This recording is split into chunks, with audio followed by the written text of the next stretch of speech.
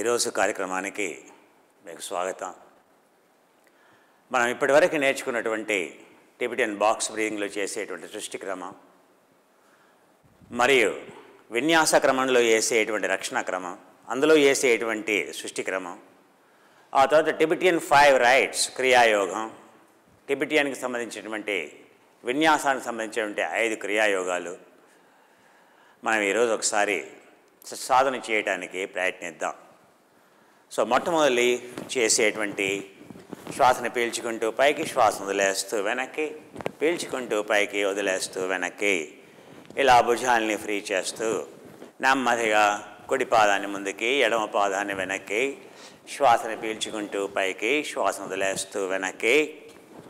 తద్వారా మీ మెడని ఫ్రీ చేస్తూ మీ వెన్నెముకని పూర్తిగా సడలిస్తూ భుజాల్ని ఫ్రీ చేస్తూ ట్రేపీజియస్ ఆ తర్వాత మీ యొక్క deltoid anterior posterior and shoulder so ఈ మజిల్స్ అన్నింటినీ ఫ్రీ చేస్తూ ఇప్పుడు మనం టిబిటన్ బాక్స్ బ్రీదింగ్ సృష్టి క్రమం సో మొదలెడదాం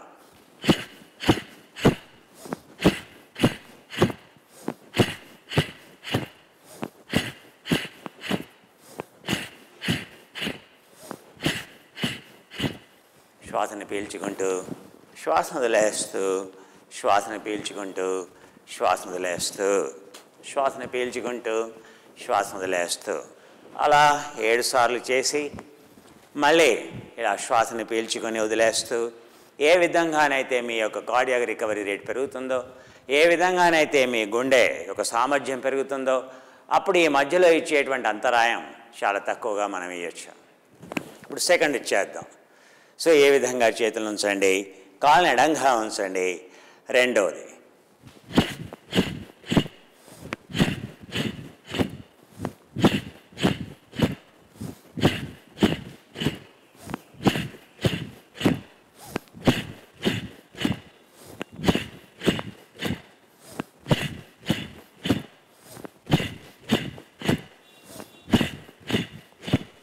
మళ్ళీ నెమ్మదిగా శ్వాసను పీల్చుకుంటూ శ్వాసను వదిలేస్తూ శ్వాసను పీల్చుకుంటూ వదిలేస్తూ. మీ యొక్క ఫిట్ బ్యాండ్ వాచ్లో కానీ మీ ఆక్సిమీటర్లో కానీ చెక్ చేసుకోండి. మీ హార్ట్ రేట్ ఎంతకు వెళ్తుంది? సో వన్ మినిట్ ఇలా రిలాక్స్ కాగానే మీ హార్ట్ రేట్ తగ్గిపోతుంది. సో టెన్ కౌంట్ తగ్గుతుందా? ఫిఫ్టీన్ కౌంట్ తగ్గుతుందా? ట్వంటీ కౌంట్ తగ్గుతుందా? చూసుకోండి. శ్వాసని పీల్చుకుంటూ వదిలేస్తూ నెమ్మదిగా మీ రెండు చేతులని కిందకి. మళ్ళీ నడుములో ఉండే కండరాల్ని ఫ్రీ చేస్తూ. Third one. సృష్టి క్రమంలో టిబిటియన్ బాక్స్ బ్రీదింగ్లో చేసేటువంటి సృష్టి క్రమాలు. Third one. మీ యొక్క ఎముకల యొక్క సాంద్రత బోన్ డెన్సిటీ పెంచడం కోసం మీ యొక్క జాయింట్ స్ట్రాంగ్గా కావడం కోసం మీ మజిల్ యొక్క డెన్సిటీ పెంచడం కోసం అనబాలిక్ ప్రోటీన్ సింథసిస్ గురించి ఆ తర్వాత మీ కణజాలం పునరుజ్జీవనం చేయడం కోసం ఆ బలాన్ని టెస్టిస్ట్రాన్ యాక్టివేట్ చేయడం కోసం మనం ఇవి చేస్తున్నాం. మళ్ళీ మూడవది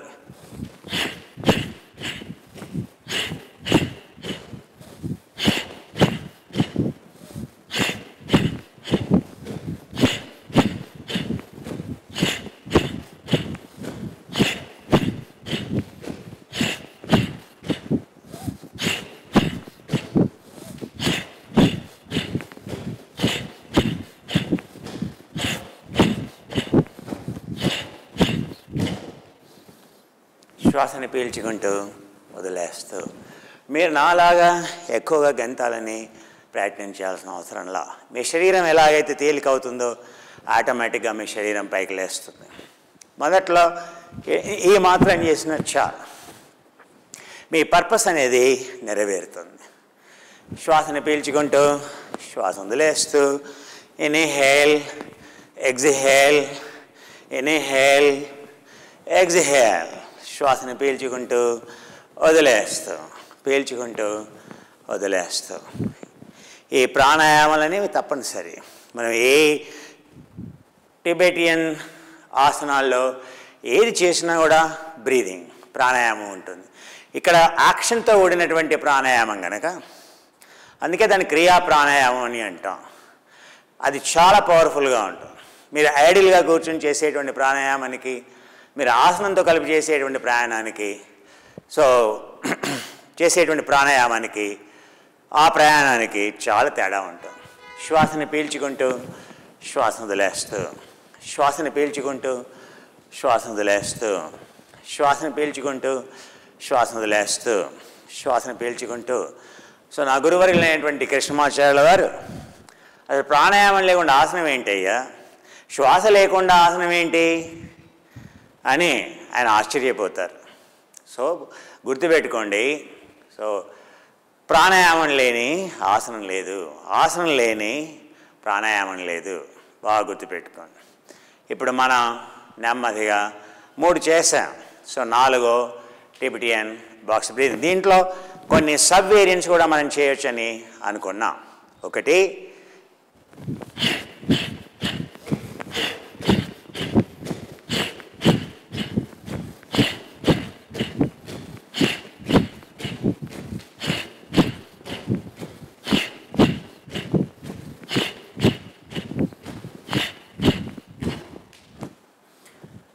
అష్టదిక్పాలకుల్ని మనం ఆహ్ ఆహ్వానించటం ఆవాహన చేయటం అని అంటాం.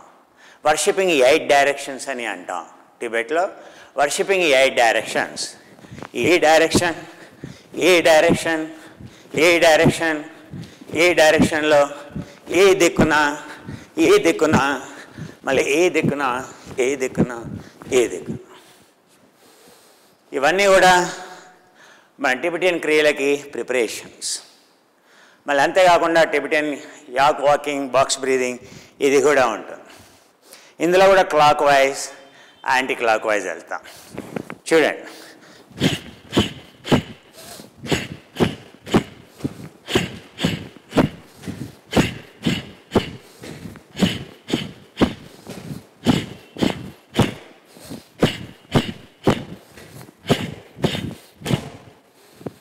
చేతులు ఇలా ఎందుకంటున్నాం?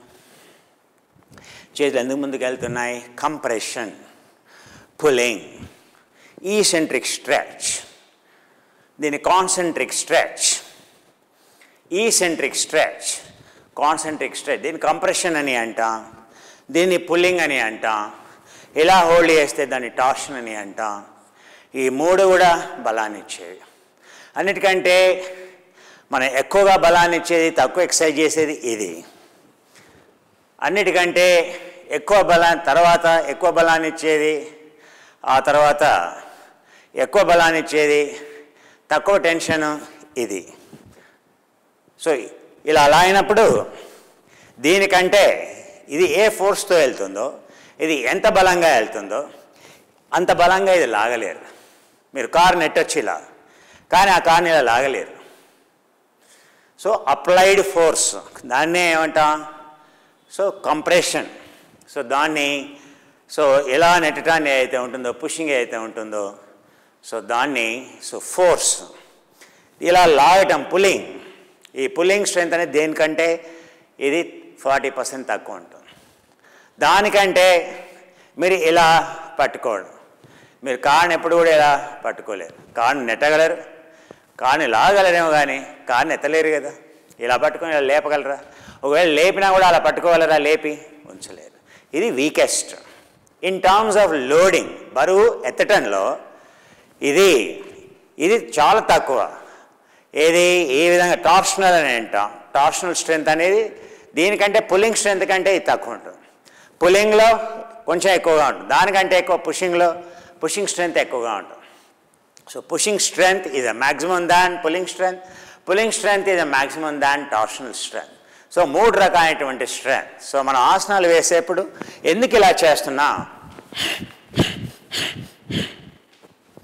సో ప్రతి మీ చేతిలో ఉండేటువంటి సుమారు పదిహేడు నుంచి పద్దెనిమిది కండరాలకి మరియు ఈ వీపులో ఉండేటువంటి కండరాలన్నిటికీ వ్యాయామం.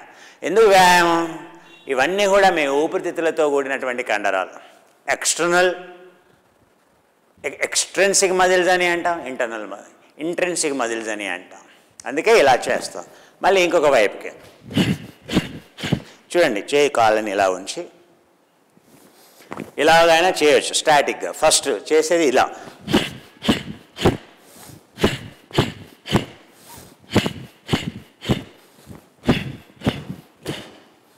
ఇలా చేసిన పిదప మళ్ళీ worshipping eight directions worshipping eight డైరెక్షన్స్లో ఇలా వెళ్తాం.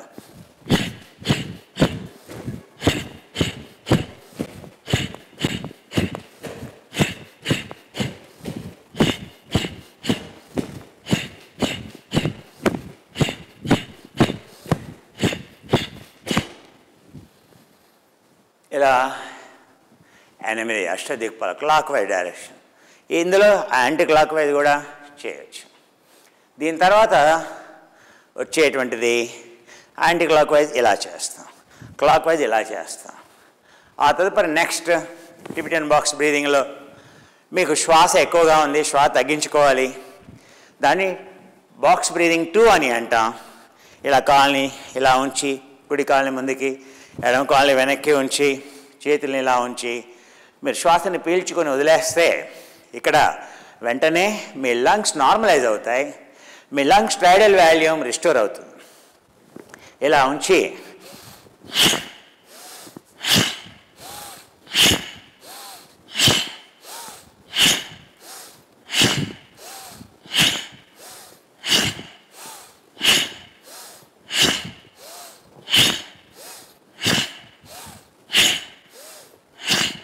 నెమ్మదిగా శ్వాసని పీల్చుకుంటూ నెమ్మదిగా వెనక్కి.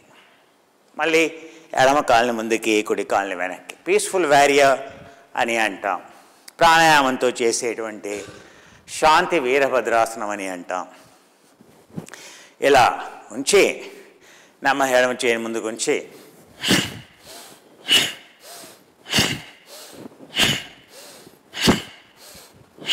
శ్వాసని పీల్చుకోవాలి.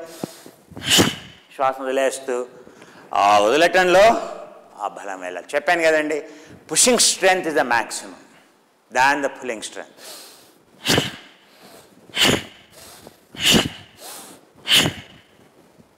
so ఒకటి పుషింగ్ ఇంకొకటి పుల్లింగ్ దీనివల్ల మీ కండరాలు తొందరగా బలంగా అవుతాయి.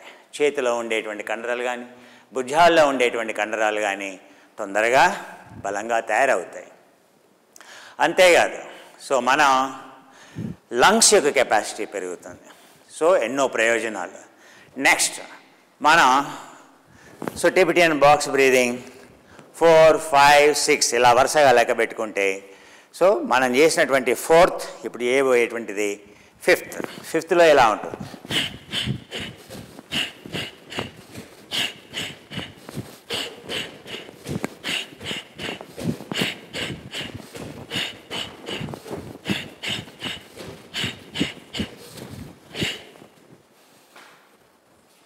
ట్యాపింగ్ ఫ్రీక్వెన్సీ ఇది ఎలా పెరుగుతూ ఉంటే మీ యొక్క డెన్సిఫికేషన్ మీ యొక్క బోన్ డెన్సిటీ అంత తొందరగా పెరుగుతుంది. మీ బోన్ అంత తొందరగా మీ ఎముక అంత తొందరగా బలంగా తయారవుతుంది. మీ మజిల్స్ అంత తొందరగా బలంగా తయారవుతాయి. ఆ వైబ్రేషన్ సో వల్ల స్ట్రెంగ్త్ పెరుగుతుంది. దానివల్ల cell frequency cell potential cell pH అనేది పెరుగుతుంది. పెరగడం వల్ల చాలా వ్యాధులు నివృత్తి అవుతాయి. శ్వాసను పీల్చుకుంటూ నెమ్మదిగా వదిలేస్తూ పీల్చుకుంటూ నెమ్మదిగా వదిలేస్తూ పీల్చుకుంటూ నెమ్మదిగా వదిలేస్తూ. ఇప్పుడు మళ్ళీ మనం ఇలా చేద్దాం. ఇందాక ఇలా చేస్తాం కదా ఇలా. స్విమ్మింగ్ అనుకున్నాం మనం స్విమ్మింగ్. ఇప్పుడు ఇలా చేసేది. ఇలా చేసేది. ఇలా చేసేటువంటిది. సో స్విమ్మింగ్లో ఇలా బ్యాక్ స్ట్రోక్ చేస్తాం. ఇలా బ్యాక్ స్ట్రోక్ చేస్తాం. దీన్ని ఫ్రంట్ బ్యాక్ స్ట్రోక్ అని అంటాం. ఇలా చేసేది. దీనివల్ల మీ యొక్క లాటిస్మస్ డోర్సే అనేటువంటి కండరం అంటే మీ భుజం దగ్గర కింది భాగం ఏదైతే మీ యొక్క medial segments of the lungs అని అంటాం ఊపిరితిత్తుల యొక్క మధ్య భాగం ఏదైతే ఉంటుందో అది పూర్తి వెనక భాగాన్ని అక్యుపై చేస్తుంది. ఆ వెనక భాగానికి శ్వాసను పంపించడానికి ఈ ప్రాణాయామం బాగా పనికి వస్తుంది ఎవరికైనా ఊపిరి ఆడట్లేదు ఇక్కడ నొప్పిగా ఉంది. మీ లంగ్స్ వీక్గా ఉన్నాయి. సో ఇక్కడ ఉండేటువంటి కండరాలని వ్యాయామం చేయడం ద్వారా అక్కడ ఉండేటువంటి లంగ్స్కి ఆక్సిజన్ పంపించడం అనేది ఈ మూమెంట్తో వస్తుంది. అందుకే ఇలా చేస్తాం.